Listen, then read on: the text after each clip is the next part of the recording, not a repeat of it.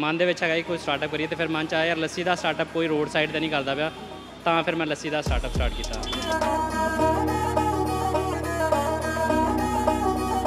ਬਿਲਕੁਲ ਭਾਈ ਅਪਰੋਕਸੀਮੇਟਲੀ ਮੈਂ 3 3.5 ਸਾਲ ਮੈਂ ਜੌਬ ਕਰਦਾ ਰਿਹਾ ਹਾਂ ਤੇ ਪ੍ਰਾਈਵੇਟ ਸੈਕਟਰ 'ਚ ਜੌਬ ਕੀਤੀ ਆ। ਨੋ ਡਾਊਟ ਕਿ ਉਹ ਜੌਬ ਮਾੜੀ ਸੀ, ਪਰ ਮਨ ਦੇ ਵਿੱਚ ਹੈਗਾ ਸੀ ਕਿ ਯਾਰ ਹਾਂ ਕੁਝ ਆਪਣਾ ਹੀ ਕਰਨਾ ਸਟਾਰਟ ਤੇ ਦੈਟਸ ਵਾਈ ਮੈਂ ਸਟਾਰਟ ਕਰ ਲਿਆ।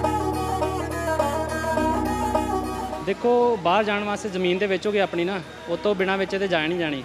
ਤੇ ਜ਼ਮੀਨ ਵੇਚ ਕੇ ਜੋ ਉੱਥੇ ਜੋ ਤੁਸੀਂ ਕੰਮ ਕਰਨਾ ਨਾ, ਉਹ ਤੋਂ ਤੁਸੀਂ ਜ਼ਮੀਨ ਕਦੀ ਨਹੀਂ ਲੈ ਸਕਦੇ। ਮਤਲਬ ਜ਼ਮੀਨ ਵੇਚ ਕੇ ਬਾਹਰ ਜਾ ਸਕਦੇ ਜੋ, ਪਰ ਉੱਥੋਂ ਜ਼ਮੀਨ ਬਣਾ ਨਹੀਂ ਸਕਦੇ ਤੁਸੀਂ।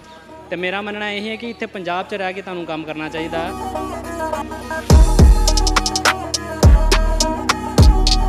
ਤੇ ਤੁਸੀਂ ਆਪਣੀ ਫੈਮਿਲੀ ਕੋਲ ਰਹਿੰਦੇ ਪਏ ਜੋ ਥੋੜਾ ਕਮਾਓ, ਪਰ ਆਪਣੀ ਫੈਮਿਲੀ ਕੋਲ ਤੇ ਰਹੋ ਯਾਰ। ਮਤਲਬ ਤੁਸੀਂ ਸ਼ਾਮੀ ਘਰ ਤੇ ਜਾਂਦੇ ਪਏ ਜੋ, ਆਪਣੀ ਫੈਮਿਲੀ ਕੋਲ। ਕਿ ਮੈਨੂੰ ਆ ਕੇ ਇੱਥੇ ਪੁੱਛਦੇ ਭਾਈ ਤੁਹਾਡੀ ਇਨਕਮ ਕਿੰਨੀ ਹੈਗੀ ਆ? ਮੈਂ ਕਿਹਾ, ਤੁਸੀਂ ਮੇਰੇ ਕੋਲ ਕਿਉਂ ਪੁੱਛਦੇ ਪਏ ਜੋ ਮੈਂ ਇੰਸਟਾਗ੍ਰam ਤੇ ਰੋਜ਼ ਹੀ ਰੀਲ ਪਾਉਣਾ ਮੈਨੂੰ ਦਿੰਦੀ ਜਿੰਨੀ ਮੈਨੂੰ ਲਾਸ ਹੁੰਦਾ, ਮੈਂ ਲਾਸ ਵੀ ਦੱਸਦਾ ਆਪਣਾ, ਜੇ ਮੈਨੂੰ ਪ੍ਰੋਫਿਟ ਹੁੰਦਾ ਦਿੰਦਾ ਮੈਂ ਉਹ ਵੀ ਦੱਸਦਾ ਕਿੰਨਾ ਇੱਕ ਵਾਰੀ ਜ਼ਰੂਰ ਮੇਰੀ ਲੱਸੀ ਟਰਾਈ ਕਰਕੇ ਦੇਖਿਓ। ਮਤਲਬ ਜੋ ਤੁਹਾਨੂੰ ਪ੍ਰਾਇੋਰਟੀ ਮੈਂ ਦੇ ਦੂੰਗਾ ਨਾ, ਇਹਦੇ ਵਿੱਚ ਜੋ ਸਾਫ਼ ਸਫ਼ਾਈ ਦੇਣਾ ਮੈਂ ਤੁਹਾਨੂੰ ਇੰਨੀ ਸਾਫ਼ ਸਫ਼ਾਈ ਮੈਂ ਘਰ ਜਾ ਕੇ ਬਰਤਨ ਧੋਣਾ ਹੈ ਜਦੋਂ ਉੱਥੋਂ ਆਉਣਾ ਫਿਰ ਦੁਬਾਰਾ ਤਿੰਨ ਚਾਰ ਵਾਰੀ ਮੇਰੇ ਬਰਤਨ ਧੁੱਪਦੇ ਆ। ਤੇ ਮੇਰੀ ਜਿਹੜੀ ਇੰਸਟਾਗ੍ਰam ਤੇ ਵੀਡੀਓਜ਼ ਮੈਂ ਉਹ 'ਚ ਵੀ ਦਿਖਾਣਾ ਰਹਿਣਾ ਕਿ ਮੈਂ ਕਿੱਦਾਂ ਵਰਕ ਕਰਦਾ, ਸਾਰਾ ਕੁਝ ਸਾਫ਼ ਸਫ਼ਾਈ ਨਾਲ ਕੰਮ ਹੁੰਦਾ। ਹੈ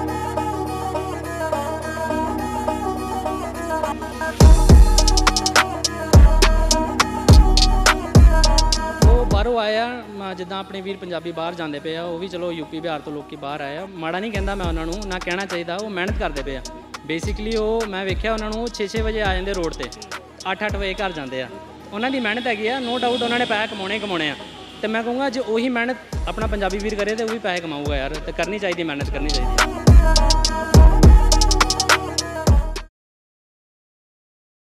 ਪੰਜਾਬੀਓ, ਗਰਮੀ ਦੇ ਵਿੱਚ ਖਾਸ ਕਰਕੇ ਅਸੀਂ ਠੰਡਕ ਲੱਭਦੇ ਹਾਂ ਤਾਂ ਠੰਡਕ ਕਈ ਵਾਰ ਕੋਲਡ ਡਰਿੰਕ ਵਰਗੇ ਪਦਾਰਥਾਂ ਚੋਂ ਮਿਲਦੀ ਆ ਪਰ ਉਹਦੇ ਨਾਲ ਕਈ ਨੁਕਸਾਨ ਵੀ ਹੁੰਦੇ ਨੇ। ਪਰ ਆਪਣੀ ਪੰਜਾਬੀਆਂ ਦੀ ਪੁਰਾਤਨ ਠੰਡਕ ਲੱਸੀ ਹੈਗੀ ਆ। ਲੱਸੀ ਜਿਸ ਮਨਪ੍ਰੀਤ ਸਿੰਘ ਨੌਜਵਾਨ ਨੇ ਇੱਕ ਛੋਟਾ ਜਿਹਾ ਕਾਟ ਕੰਪਨੀ ਬਾਗ ਦੇ ਬਾਹਰ ਲਗਾਇਆ ਹੋਇਆ, ਜਿੱਥੇ ਲੱਸੀ ਦੇ ਨਾਲ ਨਾਲ ਮੈਂਗੋ ਲੱਸੀ ਦੀ ਸ਼ੁਰੂਆਤ ਕੀਤੀ ਹੈ ਇੱਕ ਮੈਂਗੋ ਫਲੇਵਰ ਨਾਮ ਦੀ ਜਿਹੜੀ ਲੱਸੀ ਆ, ਸ਼ਾਇਦ ਅੰਮ੍ਰਿਤਸਰ ਦੇ ਵਿੱਚ ਇੱਕ ਕਾਟ ਦੇ ਉੱਪਰ ਇਹ ਨੌਜਵਾਨ ਤਿਆਰ ਕਰਦਾ ਆ। ਸਭ ਤੋਂ ਪਹਿਲਾਂ ਤਸਵੀਰਾਂ ਜ਼ਰੂਰ ਦਿਖਾਵਾਂਗਾ। ਪੰਜਾਬ ਦੀ ਆਪਣੀ ਡਰਿੰਕ ਲੱਸੀ, ਚਾਟੀ ਦੀ ਲੱਸੀ ਖਾਸ ਕਰਕੇ ਫੇਮਸ ਹੁੰਦੀ ਹੈ ਤੇ ਮੈਂਗੋ ਲੱਸੀ ਇਹ ਵੀਰ ਹੁਣੀ ਤਿਆਰ ਕਰਦੇ ਆ। ਗੱਲਬਾਤ ਆਪਾਂ ਵੀਰ ਹੁਣਾਂ ਨਾਲ ਤਿਆਰ ਕਰਦੇ ਆ। ਆਪਣੇ ਪੰਜਾਬੀ ਖਾਸ ਕਰਕੇ ਬਹਾਨੇ ਲੱਭਦੇ ਆ ਕਿ ਸਾਡੇ ਕੋਲ ਪੰਜਾਬ ਦੇ ਵਿੱਚ ਕੰਮ ਕਰਨ ਨੂੰ ਨਹੀਂ ਆ। ਪੰਜਾਬ ਦੇ ਵਿੱਚ ਕੰਮ ਕਰਨ ਲਈ ਸਾਨੂੰ ਇੱਕ ਵੱਡਾ ਸੈਟਅਪ ਚਾਹੀਦਾ ਪਰ ਇਹ ਪੰਜਾਬੀ ਨੂੰ ਸਲਾਮ ਆ। ਇੱਕ ਨਿੱਕਾ ਜਿਹਾ ਸੈਟਅਪ ਇੱਕ ਟੇਬਲ ਦੇ ਉੱਪਰ ਸਮਾਨ ਰੱਖ ਕੇ ਇਸ ਦੀ ਸ਼ੁਰੂਆਤ ਕੀਤੀ ਗਈ ਆ। ਮੇਰੇ ਨਾਲ ਮਨਪ੍ਰੀਤ ਸਿੰਘ ਮੌਜੂਦ ਹੈ ਗੱਲਬਾਤ ਕਰਦੇ। ਵੀਰੇ ਬਹੁਤ ਬਹੁਤ ਸਵਾਗਤ ਤੁਹਾਡਾ ਡੇਲੀ ਵੀਰੇ ਕਿੱਦਾਂ ਮਨ ਦੇ ਵਿੱਚ ਸੋਚਿਆ ਮੈਂ ਇਸ ਦੀ ਸ਼ੁਰੂਆਤ ਕਰਨੀ ਸ਼ੁਰੂਆਤ ਭਾਈ ਬੇਸਿਕਲੀ ਨਾ ਸ਼ੁਰੂ ਤੋਂ ਮਨ 'ਚ ਹੈਗਾ ਸੀ ਕਿ ਯਾਰ ਜੌਬ ਤੇ ਕਰਨੀ ਨਹੀਂ ਹੈ ਕੋਈ ਆਪਣਾ ਸਟਾਰਟਅਪ ਕਰਨਾ ਹੈ ਬਟ ਸਟਾਰਟਅਪ ਦੇ ਵਿੱਚ ਜੇ ਤੁਸੀਂ ਕੋਈ ਵੱਡਾ ਸਟਾਰਟਅਪ ਕਰਦੇ ਜੋ ਤੇ ਪੈਸੇ ਲੱਗਦੇ ਜੋ ਬਾਹਰ ਨੂੰ ਜਾਂਦੇ ਤੇ ਉਹ 'ਚ ਵੀ ਪੈਸੇ ਲੱਗਦੇ ਜੋ ਤੇ ਜ਼ਮੀਨ ਵੇਚ ਕੇ ਬਾਹਰ ਜਾਣਾ ਜਾਂ ਘਰਦਿਆਂ ਦੇ ਬੋਝ ਪਾ ਕੇ ਬਾਹਰ ਜਾਣਾ ਉਹ ਮੈਂ ਸਹੀ ਨਹੀਂ ਹੈਗਾ। ਤੇ ਮਨ ਦੇ ਵਿੱਚ ਹੈਗਾ ਕਿ ਕੋਈ ਸਟਾਰਟਅਪ ਕਰੀਏ ਤੇ ਫਿਰ ਮਨ 'ਚ ਆਇਆ ਯਾਰ ਲੱਸੀ ਦਾ ਸਟਾਰਟਅਪ ਕੋਈ ਰੋਡ ਸਾਈਡ ਤੇ ਨਹੀਂ ਕਰਦਾ ਪਿਆ ਤਾਂ ਫਿਰ ਮੈਂ ਲੱਸੀ ਦਾ ਸਟਾਰਟਅਪ ਸਟਾਰਟ ਕੀਤਾ। ਆਪਣੀ ਪੜ੍ਹਾਈ ਬਾਰੇ ਦੱਸੋ ਕੀ ਪੜ੍ਹਾਈ ਮੈਂ ਗ੍ਰੈਜੂਏਟ ਹਾਂ ਭਾਈ ਮੈਂ ਬੀਬੀਏ ਕੀਤੀ ਆ 2018 ਦੇ ਵਿੱਚ ਮੈਂ ਪਾਸ ਆਊਟ ਹਾਂ ਮਾਰਕੀਟਿੰਗ ਦੇ ਵਿੱਚ ਬੀਬੀਏ ਕੀਤੀ ਮੈਂ। ਤੇ ਨੋ ਡਾਊਟ ਹੈਗਾ ਸੀ ਕਿ ਹਾਂ ਥੋੜਾ ਜਿਹਾ ਵਧੀਆ ਕਰੀਏ ਤੇ ਪਰ ਉਹ ਉਨੀ ਇਨਵੈਸਟਮੈਂਟ ਦੇ ਨਾਲ ਹੋਣ ਦੇ ਕਾਰਨ ਛੋਟਾ ਜਿਹਾ ਸਟਾਰਟਅਪ ਤੋਂ ਸਟਾਰਟ ਕੀਤਾ ਮੈਂ ਨਾ। ਜਦੋਂ ਤੁਸੀਂ ਗ੍ਰੈਜੂਏਸ਼ਨ ਕੀਤੀ ਉਸ ਤੋਂ ਬਾਅਦ ਕਿਤੇ ਜੌਬ ਵਗੈਰਾ ਵੀ ਕੀਤੀ ਸ਼ੁਰੂਆਤ ਕੀਤੀ ਹੋਵੇ? ਬਿਲਕੁਲ ਭਾਈ ਅਪਰੋਕਸੀਮੇਟਲੀ ਮੈਂ 3 3.5 ਸਾਲ ਮੈਂ ਜੌਬ ਕਰਦਾ ਰਿਹਾ ਹਾਂ ਤੇ ਪ੍ਰਾਈਵੇਟ ਸੈਕਟਰ 'ਚ ਜੌਬ ਕੀਤੀ ਆ। ਨੋ ਡਾਊਟ ਕਿ ਉਹ ਜੌਬ ਮਾੜੀ ਸੀ। ਪਰ ਮਨ ਦੇ ਵਿੱਚ ਹੈਗਾ ਸੀ ਕਿ ਯਾਰ ਹਾਂ ਕੁਝ ਆਪਣਾ ਹੀ ਕਰਨਾ ਸਟਾਰਟ ਤੇ ਦੈਟਸ ਵਾਈ ਮੈਂ ਸਟਾਰਟ ਕਰ ਲਿਆ। ਬਾਹਰ ਜਾਣ ਦਾ ਸੁਪਨਾ ਸੀ? ਬਾਹਰ ਮੈਂ ਹਜੇ ਪਾਸਪੋਰਟ ਹੀ ਨਹੀਂ ਬਣਾਇਆ ਆਪਣਾ। ਉਹ ਸੁਪਨਾ ਕਦੀ ਨਹੀਂ ਹੈਗਾ ਸੀ ਮੇਰਾ। ਆਪਣੇ ਪੰਜਾਬੀ ਨੇ ਜੋ ਬਹਾਨੇ ਲੱਭਦੇ ਨੇ ਖਾਸ ਕਰਕੇ ਯਾਰ ਇੱਥੇ ਪੰਜਾਬ 'ਚ ਤੇ ਕੁਝ ਵੀ ਨਹੀਂ ਹੈਗਾ ਬਾਹਰ ਚੱਲਦੇ ਆ ਬਾਹਰ ਜਾ ਕੇ ਕੰਮ ਕਰਾਂਗੇ। ਤੁਸੀਂ ਬੜੀ ਵਧੀਆ ਇੱਕ ਮਿਸਾਲ ਕਾਇਮ ਕੀਤੀ ਉਹਨਾਂ ਵਾਸਤੇ ਜੋ ਕਹਿੰਦੇ ਨੇ ਕਿ ਨਹੀਂ ਯਾਰ ਖਰਚੇ ਹੀ ਬੜੇ ਚਾਹੀਦੇ ਆ ਪੰਜਾਬ 'ਚ ਕੰਮ ਕਰਨ ਨੂੰ। ਇੰਨੇ ਇਸ ਤੋਂ ਚੰਗਾ ਫਿਰ ਆਪਾਂ ਬਾਹਰ ਚੱਲ ਜਾਈਏ ਬਾਹਰ ਚੰਗਾ ਕੰਮ ਕਰ ਲਾਂਗੇ। ਤੁਸੀਂ ਇੱਕ ਨਿੱਕੇ ਜਿਹੇ ਸੈਟਅਪ ਦੀ ਸ਼ੁਰੂਆਤ ਕੀਤੀ। ਦੇਖੋ, ਬਾਹਰ ਜਾਣ ਵਾਸਤੇ ਜ਼ਮੀਨ ਤੇ ਵੇਚੋਗੇ ਆਪਣੀ ਨਾ, ਉਹ ਤੋਂ ਬਿਨਾ ਵੇਚੇ ਤੇ ਜਾ ਨਹੀਂ ਜਾਣੀ। ਤੇ ਜ਼ਮੀਨ ਵੇਚ ਕੇ ਜੋ ਉੱਥੇ ਜੋ ਤੁਸੀਂ ਕੰਮ ਕਰਨਾ ਨਾ ਉਹ ਤੋਂ ਤੁਸੀਂ ਜ਼ਮੀਨ ਕਦੀ ਨਹੀਂ ਲੈ ਸਕਦੇ। ਮਤਲਬ ਜ਼ਮੀਨ ਵੇਚ ਕੇ ਬਾਹਰ ਜਾ ਸਕਦੇ ਜੋ, ਪਰ ਉੱਥੋਂ ਜ਼ਮੀਨ ਬਣਾ ਨਹੀਂ ਸਕਦੇ ਤੁਸੀਂ। ਤੇ ਮੇਰਾ ਮੰਨਣਾ ਇਹ ਹੈ ਕਿ ਇੱਥੇ ਪੰਜਾਬ 'ਚ ਰਹਿ ਕੇ ਤੁਹਾਨੂੰ ਕੰਮ ਕਰਨਾ ਚਾਹੀਦਾ। ਉੱਥੇ ਤੁਸੀਂ ਬਾਹਰ ਜਾਓਗੇ ਤੇ ਕਿੰਨੀ ਇਨਵੈਸਟਮੈਂਟ ਲਾ ਕੇ 20 20 30 30 ਲੱਖ ਰੁਪਏ ਲੋਕੀ ਬਾਹਰ ਜਾਂਦੇ ਆ, ਲਾ ਕੇ ਜਾਂਦੇ ਆ। ਕਈ ਵਾਰ ਉੱਥੇ ਗੱਲ ਵੀ ਨਹੀਂ ਬਣਦੀ ਤੇ ਵਾਪਸ ਆ ਜਾਂਦੇ ਆ। ਤੇ ਇੱਥੇ ਤੁਸੀਂ ਆਪਣੀ ਫੈਮਿਲੀ ਕੋਲ ਰਹਿੰਦੇ ਪਏ ਜੋ ਥੋੜਾ ਕਮਾਓ ਪਰ ਆਪਣੀ ਫੈਮਿਲੀ ਕੋਲ ਤੇ ਰਹੋ ਯਾਰ। ਮਤਲਬ ਤੁਸੀਂ ਸ਼ਾਮੀ ਘਰ ਤੇ ਜਾਂਦੇ ਪਏ ਜੋ ਆਪਣੀ ਫੈਮਿਲੀ ਕੋਲ। ਅੱਛਾ ਜੇਕਰ ਗੱਲ ਕਰ ਲਾਂ ਅੱਜ ਕੱਲ ਦਾ ਜੇਕਰ ਕੋਈ ਕੰਮ ਕਰਦਾ ਹੈ ਨਾ ਕੋਈ ਭੇਦ ਨਹੀਂ ਦਿੰਦਾ ਆਪਣੇ ਕੰਮ ਦਾ ਕਿ ਅੱਜ ਮੈਂ ਇੰਨੇ ਪੈਸੇ ਵਟੇ ਆ ਜਾਂ ਮੈਂ ਅੱਜ ਇੰਨੇ ਪੈਸੇ ਵਟ ਕੇ ਲੈ ਕੇ ਚੱਲਿਆ। ਇੰਸਟਾਗ੍ਰam ਤੇ ਤੁਸੀਂ ਰੀਲਾਂ ਬਣਾ ਕੇ ਪਾਉਂਦੇ ਹੋ ਕਿ ਯਾਰ ਅੱਜ ਮੇਰੀ ਇੰਨੀ ਕਮਾਈ ਹੋਈ ਆ ਅੱਜ ਮੈਂ ਇੰਨੇ ਵਜੇ ਪਹੁੰਚਿਆ ਜਾਂ ਅੱਜ ਮੈਂ ਨਹੀਂ ਲਗਾਈ ਮੈਨੂੰ ਅੱਜ ਇੰਨੇ ਪੈਸੇ ਬਣ ਗਏ ਅੱਜ ਮੇਰਾ ਇੰਨਾ ਪ੍ਰੋਫਿਟ ਹੋਇਆ। ਤੁਸੀਂ ਕਿੱਦਾਂ ਦੱਸ ਦਿੰਦੇ ਹੋ ਸਾਰਾ ਕੁਝ ਦੇਖੋ ਆ ਗੱਲ ਮੈਂ ਮਤਲਬ ਮੈਂ ਵੇਖਿਆ ਕਿ ਤੁਸੀਂ ਚਲੋ ਵੀਡੀਓ ਵੇਖੀ, ਬਹੁਤ ਬਹੁਤ ਥੈਂਕ ਯੂ ਯਾਰ ਤੁਸੀਂ ਵੀਡੀਓ ਵੇਖੀ ਮੇਰੀ। ਬੇਸਿਕਲੀ ਨਾ ਪੰਜਾਬ ਦੇ ਵਿੱਚ ਕੋਈ ਵੀ ਤੁਸੀਂ ਕੋਈ ਵੀ ਜੌਬ ਜਾਂ ਬਿਜ਼ਨਸ ਕਰਦਾ ਉਹ ਦੱਸਦਾ ਨਹੀਂ ਕਿ ਮੈਂ ਕਿੰਨੀ ਇਨਕਮ ਕਰਦਾ ਪਿਆ ਜਾਂ ਕੁਝ ਨਹੀਂ ਕਰਦਾ ਪਿਆ, ਹਨਾ? ਮੈਂ ਬੇਸਿਕਲੀ ਲੋਕਾਂ ਨੂੰ ਯਾਰ ਮੋਟੀਵੇਟ ਕਰਨਾ ਚਾਹੁੰਦਾ ਕਿ ਹਾਂ, ਲੋਕੀ ਮੈਨੂੰ ਆ ਕੇ ਇੱਥੇ ਪੁੱਛਦੇ ਭਾਜੀ ਤੁਹਾਡੀ ਇਨਕਮ ਕਿੰਨੀ ਹੈਗੀ ਆ? ਮੈਂ ਕਿਹਾ ਤੁਸੀਂ ਮੇਰੇ ਕੋਲ ਕਿਉਂ ਪੁੱਛਦੇ ਪਏ ਜੋ? ਮੈਂ ਇੰਸਟਾਗ੍ਰam ਤੇ ਰੋਜ਼ ਹੀ ਰੀਲਸ ਪਾਣਾ ਮੈਨੂੰ ਦਿਨ ਦੀ ਜਿੰਨੀ ਮੈਨੂੰ ਲਾਸ ਹੁੰਦਾ, ਮੈਂ ਲਾਸ ਵੀ ਦੱਸਦਾ ਆਪਣਾ, ਜੇ ਮੈਨੂੰ ਪ੍ਰੋਫਿਟ ਹੁੰਦਾ ਦਿੰਦਾ, ਮੈਂ ਉਹ ਵੀ ਦੱਸਦਾ। ਤਾਂ ਮੈਨੂੰ ਕੋਈ ਉਹ ਚ ਡਰ ਨਹੀਂ ਹੈਗਾ ਕਿ ਹਾਂ ਮੈਂ ਕਿਸੇ ਨੂੰ ਦੱਸੂਗਾ ਤੇ ਯਾਰ ਮੈਨੂੰ ਉਹ ਕਹਿਣਗੇ ਕਿ ਯਾਰ ਆ ਪੈਸੇ ਇੰਨੇ ਘੱਟ ਕਮਾਏ ਆ ਇੰਨੇ ਜ਼ਿਆਦਾ ਕਮਾਏ ਆ। ਜੋ ਮੈਂ ਕਮਾਉਣਾ ਉਹ ਮੈਂ ਇੰਸਟਾਗ੍ਰam ਤੇ ਰੀਲ ਪੋਸਟ ਕਰ ਦੇਣਾ ਆਪਣੀ ਰੋਜ਼ ਹੀ ਮੇਰੀ ਪੋਸਟ ਹੁੰਦੀ ਆ। ਆ ਥੋੜਾ ਸ਼ਡਿਊਲ ਕਈ ਵਾਰ ਬਿਜ਼ੀ ਹੋ ਜਾਂਦਾ ਉਹਦੀ ਵਜ੍ਹਾ ਨਾਲ ਪੋਸਟ ਨਹੀਂ ਕਰ ਪਾਉਣਾ ਰੈਗੂਲਰਲੀ ਬਟ ਉਹ ਅ, ਮਤਲਬ ਹੁੰਦੀ ਆ ਜ਼ਿਆਦਾਤਰ ਮੈਂ ਪੋਸਟ ਕਰਦਾ ਹੀ ਕਰਦਾ ਹਾਂ। ਬੜੇ ਲੋਕ ਝਿਜਕਦੇ ਨੇ ਆਪਣੀ ਜਿਹੜੀ ਕਮਾਈ ਉਹ ਦੱਸਣ ਤੋਂ। ਤੁਸੀਂ ਕਿਵੇਂ ਇੰਨੀ ਦਲੇਰੀ ਰੱਖੀ ਕਿ ਮੈਂ ਲੋਕਾਂ ਤੱਕ ਆਪਣੀ ਕਮਾਈ ਵੀ ਦੱਸਾਂ ਇਨਕਮ ਦੱਸਾਂ ਮੈਂ ਰੋਜ਼ ਇੰਨੇ ਪੈਸੇ ਬਣਾ ਕੇ ਜਾ ਰਿਹਾ? ਦੇਖੋ, ਦਲੇਰੀ ਇੰਸਟਾਗ੍ਰam ਤੇ ਮੇਰਾ ਚੈਨਲ ਬਣਾਉਣ ਦਾ ਮਤਲਬ ਹੀ ਇਹ ਸੀ ਕਿ ਮੈਂ ਲੋਕਾਂ ਨੂੰ ਦੱਸਾਂ ਕਿ ਮੈਂ ਇਨਵੈਸਟਮੈਂਟ ਕਿੰਨੀ ਕੀਤੀ ਆ। ਬੇਸਿਕਲੀ ਲੋਕੀ ਚਾਹੁੰਦੇ ਆ ਕਿ ਯਾਰ ਮਤਲਬ ਆਪਣਾ ਸਟਾਰਟਅਪ ਕਰਨਾ ਚਾਹੁੰਦੇ ਆ ਬਟ ਉਹ ਸਟਾਰਟਅਪ ਕਰਨਾ ਚਾਹੁੰਦੇ ਉਹਨਾਂ ਨੂੰ ਇਹ ਨਹੀਂ ਪਤਾ ਹੁੰਦਾ ਕਿ ਯਾਰ ਸਟਾਰਟਅਪ ਕਰੀਏ ਕੀ ਤੇ ਕਿੰਨੇ ਦਾ ਕਰੀਏ। ਤੇ ਮੈਂ ਲੋਕਾਂ ਨੂੰ ਉੱਚੇ ਵੀ ਦੱਸਦਾ ਕਿ ਮੈਂ ਕਿੰਨੇ ਪੈਸੇ ਲਾ ਕੇ ਆ ਸਟਾਰਟਅਪ ਕੀਤਾ। ਜ਼ਿਆਦਾ ਇਨਵੈਸਟਮੈਂਟ ਨਹੀਂ, ਮੇਰੀ 16 17000 ਰੁਪਏ ਇਨਵੈਸਟਮੈਂਟ ਹੈਗੀ ਆ।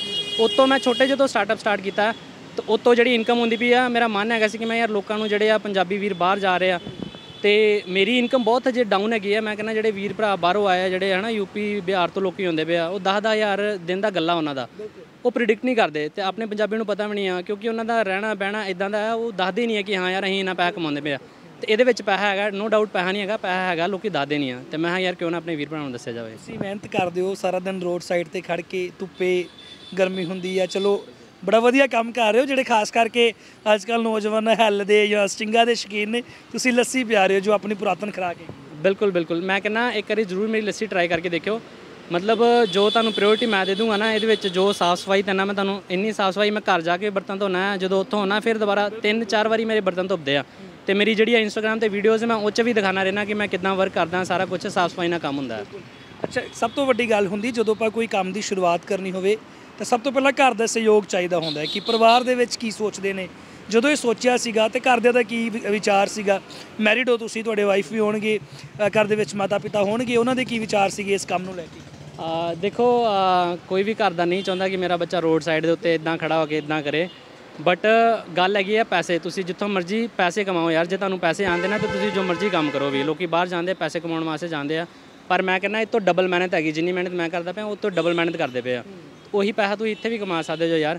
ਤੇ ਗੱਲ ਕਰੀਏ ਮੇਰੇ ਪਰਿਵਾਰ ਦੀ ਤੇ ਮੇਰੇ ਫਾਦਰ ਸਾਹਿਬ ਡਿਫੈਂਸ ਹੈਗੇ ਆ। ਮੇਰੇ ਫਾਦਰ ਸਾਹਿਬ ਨੇ ਕਦੀ ਮੈਨੂੰ ਮਨਾ ਨਹੀਂ ਕੀਤਾ ਕਿ ਯਾਰ ਤੂੰ ਆਹ ਕੰਮ ਨਹੀਂ ਉਹ ਕਰਨੇ ਕਰਨਾ। ਸਰ ਸੁਪਨਾ ਹੁੰਦਾ ਹੈ ਕਿ ਯਾਰ ਜੇ ਮੈਂ ਫੌਜੀ ਆ ਤਾਂ ਮੇਰਾ ਪੁੱਤ ਵੀ ਫੌਜੀ ਹੋਵੇ। ਬਿਲਕੁਲ ਨੋ ਡਾਊਟ ਮੈਂ ਵੀ ਕੋਸ਼ਿਸ਼ ਕੀਤੀ ਸੀ ਪਰ ਥੋੜਾ ਜਿਹਾ ਨਾ ਮਤਲਬ ਫਿਜ਼ੀਕਲੀ ਅਨਫਿਟ ਹੋਣ ਦੇ ਕਾਰਨ ਮੈਂ ਉਧਰ ਜਾ ਨਹੀਂ ਪਾਇਆ ਤੇ ਮੈਂ ਉਹ ਲਾਈਨ ਹੀ ਛੱਡਤੀ ਫਿਰ ਮੈਂ।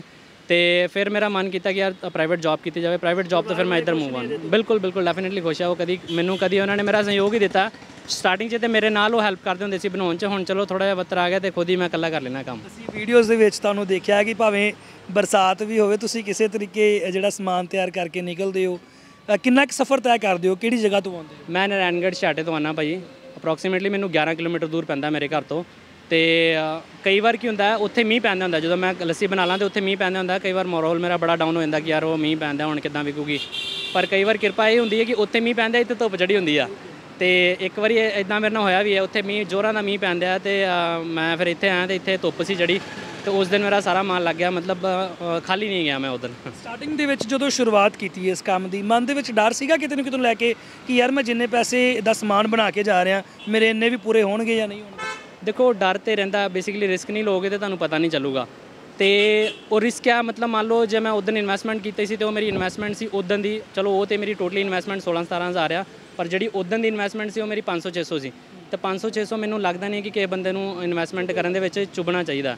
ਤੇ ਉਹ ਮੇਰੀ ਉਹ ਸਟਾਰਟਿੰਗ ਸੀ, ਮੈਂ ਪਹਿਲਾਂ 3-4 ਲੀਟਰ ਮਾਲ ਲੈ ਕੇ ਆਉਣਾ ਸੀ ਤਾਂ ਹਫਤਾ ਹੀ ਮੈਂ 3-4 ਲੀਟਰ ਮਾਲ ਲੈ ਕੇ ਆਉਣਾ ਰਿਹਾ। ਉਸ ਤੋਂ ਬਾਅਦ ਚਲੋ ਬਾਬਾ ਜੀ ਦੀ ਕਿਰਪਾ ਹੋਈ ਹੈ ਤੇ ਮੈਂ ਹੁਣ ਮੇਰਾ ਅਪਰੋਕਸੀਮੇਟਲੀ ਜਦੋਂ ਪ੍ਰੋਪਰ ਗਰਮੀਆਂ ਰਹੀਆਂ ਤੇ 20-20 ਲੀਟਰ ਮੇਰਾ ਮਾਲ ਲੱਗਦਾ ਰਿਹਾ, ਦਹੀਂ ਕੱਲਾ ਦਹੀਂ। ਸ਼ਾਇਦ ਇਸ ਵੀਡੀਓ ਤੋਂ ਬਾਅਦ ਤੁਸੀਂ ਕਈ ਨੌਜਵਾਨਾਂ ਦੀ ਇਨਸਪੀਰੇਸ਼ਨ ਬਣ ਜਾਓ। ਕਿੱਦਾਂ ਇਸ ਕੰਮ ਦੀ ਸ਼ੁਰੂਆਤ ਕਰ ਸਕਦੇ ਨੇ? ਖਾਸ ਕਰਕੇ ਪੰਜਾਬ ਦੇ ਵਿੱਚ ਬਹੁਤ ਕੁਝ ਹੈਗਾ ਆ। ਟੂਰਿਸਟ ਬਾਹਰੋਂ ਆਉਂਦਾ ਹੈ ਤੇ ਦੇਖਦਾ ਹੈ ਕਿ ਵਾਕਈ ਜੇਕਰ ਆਪਾਂ ਅੱਜ ਪੰਜਾਬੀ ਮਿਹਨਤ ਕਰ ਰਹੇ ਹਾਂ ਤਾਂ ਇੱਕ ਚੰਗਾ ਮੈਸੇਜ ਵੀ ਜਾਂਦਾ ਆ। ਕਿਵੇਂ ਸ਼ੁਰੂਆਤ ਕਰ ਸਕਦੇ ਆ? ਇਹ ਜੇਕਰ ਸੈਟਅਪ ਤੁਸੀਂ ਸ਼ੁਰੂਆਤ ਕੀਤੀ ਜਾਂ ਕੋਈ ਨੌਜਵਾਨ ਹੋਰ ਵੀ ਕੰਮ ਦੀ ਸ਼ੁਰੂਆਤ ਕਰਨਾ ਚਾਹੁੰਦਾ ਹੋਵੇ ਉਸ ਨੂੰ ਕੋਈ ਮੈਸੇਜ ਦੇਣਾ ਚਾਹੁੰਦੇ ਹੋ? ਦੇਖੋ ਪੰਜਾਬ ਅੰਮ੍ਰਿਤਸਰ ਬੇਸਿਕਲੀ ਜਿਹੜਾ ਟੂਰਿਜ਼ਮ ਪਲੇਸ ਹੈਗੀ ਆ, ਇੱਥੇ ਦਿਨ ਦੇ ਵਿੱਚ 60000 ਟੂਰਿਜ਼ਮ ਆਉਂਦਾ ਹੈ ਤੇ ਇੱਥੇ ਟੂਰਿਜ਼ਮ ਤੋਂ ਇਨਕਮ ਬੜੀ ਜਲਦੀ ਲਈ ਜਾ ਸਕਦੀ ਆ। ਪਰ ਜਿਹੜੇ ਮੁੰਡੇ ਹੈਗੇ ਧਿਆਨ ਹੀ ਨਹੀਂ ਦਿੰਦੇ। ਮੈਂ ਪਰਸੋਂ ਵੀ ਚੈੱਕ ਕਰਦਾ ਪਿਆ ਸੀ, ਕੋਈ ਇੰਸਟਾਗ੍ਰam ਤੇ ਟੂਰਿਜ਼ਮ ਵਾਲਾ ਕਿਸੇ ਵੀ ਇਹਨੇ ਪੇਜ ਨਹੀਂ ਬਣਾਇਆ। ਥੋੜੇ ਟਾਈਮ ਹੋ ਗਿਆ, ਮੈਂ ਜਸਲਮੇਰ ਜਾ ਕੇ ਆਇਆ ਸੀ ਰਾਜਸਥਾਨ, ਉਹ ਵੀ ਟੂਰਿਜ਼ਮ ਪਲੇਸ ਹੈਗੀ ਆ। ਪਰ ਉੱਥੇ ਦਿਨ ਦਾ 10000 ਟੂਰਿਜ਼ਮ ਆਉਂਦਾ, ਇੱਥੇ 60000 ਆਉਂਦਾ। ਕਿੰਨਾ ਫ਼ਰਕ ਹੈਗਾ? ਬਟ ਉੱਥੇ ਜੋ ਟੂਰਿਜ਼ਮ ਨੂੰ ਮਤਲਬ ਗਾਈਡ ਕੀਤਾ ਜਾਂਦਾ ਹੈ ਜਾਂ ਮਤਲਬ ਪ੍ਰੋਪਰ ਵੇ ਨਾਲ ਵੇਖਿਆ ਜਾਂਦਾ ਹੈ, ਉੱਥੇ ਬਹੁਤ ਹੀ ਸੋਰਸ ਹੈਗੇ ਆ ਟੂਰਿਜ਼ਮ ਮਤਲਬ ਲੋਕੀ ਪੈਸਾ ਕਮਾਉਂਦੇ ਟੂਰਿਜ਼ਮ ਤੋਂ। ਤੇ ਅੰਮ੍ਰਿਤਸਰ ਦੇ ਵਿੱਚ ਉਹ ਬਹੁਤ ਘੱਟ ਹੈਗਾ ਤੇ ਮੇਰਾ ਮੰਨਣਾ ਹੈ ਕਿ ਟੂਰਿਜ਼ਮ ਵੱਲ ਵੀ ਥੋੜਾ ਧਿਆਨ ਦਿੱਤਾ ਜਾਵੇ, ਉਧਰ ਉਧਰ ਜਾ ਕੇ ਵੀ ਇਨਕਮ ਲਿੱਤੀ ਜਾਵੇ। ਤੇ ਜੇ ਕਿਸੇ ਨੇ ਕੋਈ ਛੋਟਾ ਸਟਾਰਟਅਪ ਕਰਨਾ ਤੇ ਉਹ ਛੋਟੇ ਤੋਂ ਸਟਾਰਟ ਕਰੇ ਬੇਸਿਕਲੀ ਨਾ। ਰੋਡ ਸਾਈਡ ਤੋਂ ਸਟਾਰਟ ਕਰ ਲੈ ਯਾਰ, ਕਿਉਂਕਿ ਜੇ ਡਿੱਗੂਗਾ ਵੀ ਨਾ, ਉਹਨੂੰ ਦਰਦ ਨਹੀਂ ਹੋਊਗੀ ਕਿ ਯਾਰ ਮੈਂ ਇੰਨੀ ਇਨਵੈਸਟਮੈਂਟ ਕੀਤੀ, ਉਹ ਥੱਲੇ ਆ ਗਿਆ ਮੈਂ। ਅੱਜ ਯੂਪੀ ਬਿਹਾਰ ਤੋਂ ਪ੍ਰਵਾਸੀ ਆ ਕੇ ਪੰਜਾਬ 'ਚ ਮਿਹਨਤ ਕਰ ਰਹੇ। ਆਪਣੇ ਪੰਜਾਬ ਵਾਲੇ ਬਾਹਰ ਜਾ ਕੇ ਜਿਹੜੇ ਅਮਿਤ ਕਮਾਈਆਂ ਕਰਨ ਤੇ ਲੱਗੇ ਆ। ਪੰਜਾਬ ਦੇ ਵਿੱਚ ਐਸਾ ਕਿ ਹਾਲਾਂਕਿ ਗੁਰੂਆਂ ਦੀ ਧਰਤੀ ਆ, ਇਸ ਜਗ੍ਹਾ ਤੇ ਫਿਰ ਵੀ ਕਿਤੇ ਨਾ ਕਿਤੇ ਬਰਕਤ ਜ਼ਰੂਰ ਪੈਂਦੀ ਆ। ਜੇਕਰ ਸੱਚੇ ਮਨੇ ਆਪਾਂ ਕੰਮ ਕਰਦੇ ਆ ਤਾਂ ਸਾਡੇ ਕੰਮ ਨੂੰ ਵੀ ਭਾਗ ਲੱਗਦੇ ਨੇ। ਹਾਂ, ਦੇਖੋ, ਉਹ ਬਾਹਰੋਂ ਆਏ ਆ ਮ- ਜਿੱਦਾਂ ਆਪਣੇ ਵੀਰ ਪੰਜਾਬੀ ਬਾਹਰ ਜਾਂਦੇ ਪਏ ਆ, ਉਹ ਵੀ ਚਲੋ ਯੂਪੀ ਬਿਹਾਰ ਤੋਂ ਲੋਕੀ ਬਾਹਰ ਆਏ ਆ। ਮਾੜਾ ਨਹੀਂ ਕਹਿੰਦਾ ਮੈਂ ਉਹਨਾਂ ਨੂੰ, ਨਾ ਕਹਿਣਾ ਚਾਹੀਦਾ, ਉਹ ਮਿਹਨਤ ਕਰਦੇ ਪਏ ਆ। ਬੇਸਿਕਲੀ ਉਹ, ਮੈਂ ਵੇਖਿਆ ਉਹਨਾਂ ਨੂੰ 6-6 ਵਜੇ ਆ ਜਾਂਦੇ ਰੋਡ ਤੇ 8-8 ਵਜੇ ਘਰ ਜਾਂਦੇ ਆ। ਉਹਨਾਂ ਦੀ ਮਿਹਨਤ ਹੈਗੀ ਆ ਨੋ ਡਾਊਟ ਉਹਨਾਂ ਨੇ ਪੈਸਾ ਕਮਾਉਣੇ ਕਮਾਉਣੇ ਆ। ਤੇ ਮੈਂ ਕਹੂੰਗਾ ਜੇ ਉਹੀ ਮਿਹਨਤ ਆਪਣਾ ਪੰਜਾਬੀ ਵੀਰ ਕਰੇ ਤੇ ਉਹ ਵੀ ਪੈਸੇ ਕਮਾਊਗਾ ਯਾਰ, ਤੇ ਕਰਨੀ ਚਾਹੀਦੀ ਮਿਹਨਤ ਕਰਨੀ ਚਾਹੀਦੀ ਹੈ। ਸੋ ਬਿਲਕੁਲ ਇਹ ਮਨਪ੍ਰੀਤ ਸਿੰਘ ਹੋਣਾ ਨੇ ਬਿਜ਼ਨਸ ਦੀ ਸ਼ੁਰੂਆਤ ਕੀਤੀ। ਅਕਸਰ ਕਹਿੰਦੇ ਆ ਕਿ ਬਿਜ਼ਨਸ ਦੇ ਵਿੱਚ ਇੱਕ ਰਿਸਕ ਹੁੰਦਾ ਆ। ਪਰ ਜੇਕਰ ਤੁਸੀਂ ਅੱਜ ਦੇ ਸਮੇਂ ਦੇ ਵਿੱਚ ਰਿਸਕ ਨਹੀਂ ਲੈ ਸਕਦੇ, ਤਾਂ ਤੁਸੀਂ ਉਹਨਾਂ ਦੇ ਥੱਲੇ ਕੰਮ ਕਰੋਗੇ ਜੋ ਰਿਸਕ ਲੈ ਚੁੱਕੇ ਨੇ। ਇਹ ਬਹੁਤ ਵੱਡੀ ਗੱਲ ਆ। ਜੇਕਰ ਤੁਸੀਂ ਪੰਜਾਬ ਦੇ ਵਿੱਚ ਰਹਿ ਕੇ ਕਮਾਉਣਾ ਨਹੀਂ ਸਿੱਖਦੇ ਜਾਂ ਕਮਾਉਣਾ ਨਹੀਂ ਚਾਹੁੰਦੇ ਬੜੀ ਸੋਹਣੀ ਗੱਲ ਆਖਦੇ ਆ ਕਿ ਜਿਹਨੂੰ ਆ ਗਿਆ ਤਰੀਕਾ, ਉਹਦਾ ਇੱਥੇ ਹੀ ਅਮਰੀਕਾ। ਸੋ ਕੰਮ ਕਰਨ ਦੇ ਤਰੀਕੇ ਹੋਣੇ ਚਾਹੀਦੇ ਆ, ਕੰਮ ਕਰਨ ਦੀ ਸੋਚ ਹੋਣੀ ਚਾਹੀਦੀ ਆ, ਕੰਮ ਕਰਨ ਦਾ ਅਦਬ ਹੋਣਾ ਚਾਹੀਦਾ। ਸੋ ਇਸੇ ਤਰੀਕੇ ਨਾਲ ਮਨਪ੍ਰੀਤ ਸਿੰਘ ਹੋਣਾ ਨੇ ਇਸ ਜਗ੍ਹਾ ਤੇ ਆਪਣਾ ਇੱਕ ਛੋਟਾ ਜਿਹਾ ਸਟਾਲ ਲਗਾ ਕੇ ਲੱਸੀ ਦਾ ਕੰਮ ਖੋਲ੍ਹਿਆ ਤੇ ਖਾਸ ਕਰਕੇ ਮੈਂਗੋ ਲੱਸੀ ਇਹਨਾਂ ਵੱਲੋਂ ਤਿਆਰ ਕੀਤੀ ਜਾਂਦੀ ਹੈ। ਮੈਨੂੰ ਦਿਓ ਇਜਾਜ਼ਤ, ਡੇਲੀ ਡਸਟ ਟੀਵੀ ਦੇ ਲਈ ਸਿਮਰਦੀਪ ਸਿੰਘ ਅੰਮ੍ਰਿਤਸਰ।